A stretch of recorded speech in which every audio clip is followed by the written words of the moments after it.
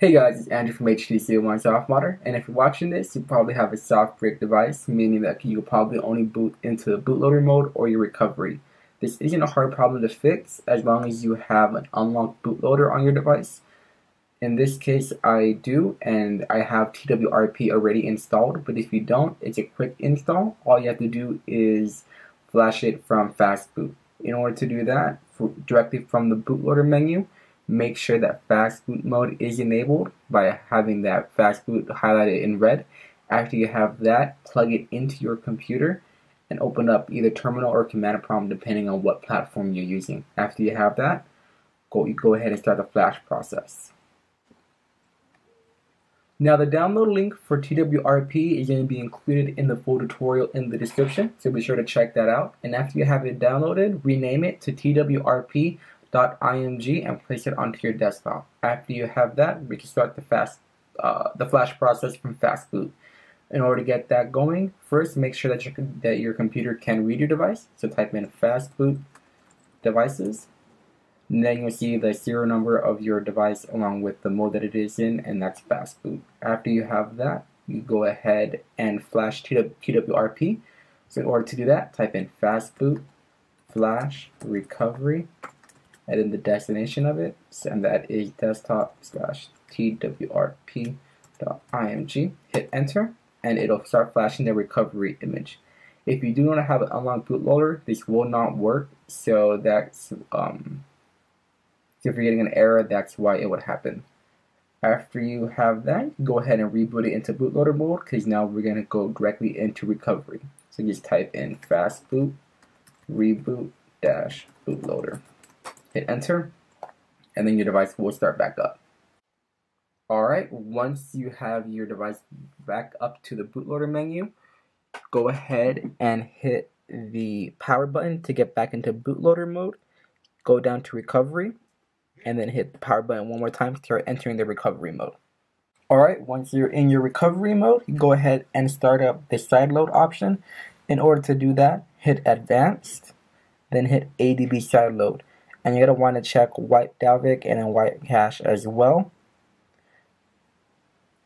After you have them both, have you, after you have both of them checked, just slide to wipe, and then sideload mode will start automatically after that. Now back at your computer, you can go ahead and um, kill and restart the ADB process. So in order to do that, first type in ADB, type in ADB, kill server, hit enter, and then type ADB USB, hit enter one more time, and it'll restart ADB. After that, make sure that your computer can read your device, so type in ADB devices, hit enter, and see right now my device wasn't listed, so what you could do in order to fix that is unplug your device from your computer and then plug it right back in. And then you run the same command one more time, hit enter, and then now you'll see that it is in sideload mode. Also, if you're getting an ADB error that says error and then colon closed, that just means you have to restart the ADB sideload um, mode one more time. So just hit the home button and then restart it from the TWRP main menu. After you have that going, you can start the sideload process. So first, you're gonna um, flash your ROM, and that should already be on your desktop, and that should be named rom.zip. So to start that up, type in adb sideload desktop slash rom zip, hit enter, and then it'll start sending that sideload package to your device. Alright, after your sideload has been sent and your ROM has been flashed, you go ahead and reboot your system. But if you have a GApps package that you need to install as well because your ROM doesn't include them, go ahead and flash those now as well. So to do that, hit the home button, go advanced, ADB sideload one more time, and then swipe to start. After that, you go ahead and send them on over. So to do that, type in adb sideload desktop slash g apps.zip. Now you'll change that to where whatever you named your gapps package. I just put mine on the desktop and renamed it gapps.zip. After that, hit enter and it'll be the same process one more time. After the sideload ends, then you'll be able to hit the reboot option as well in order to, to restart your system. Alright, once your GApps package is finished installing, you go ahead and hit the reboot system option.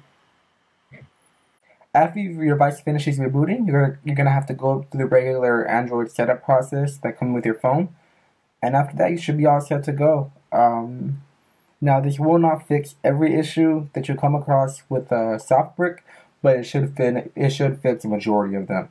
Be sure to check out the full tutorial at HTC One softModder, and like always, be sure to like, comment, and subscribe. Have a good one, guys.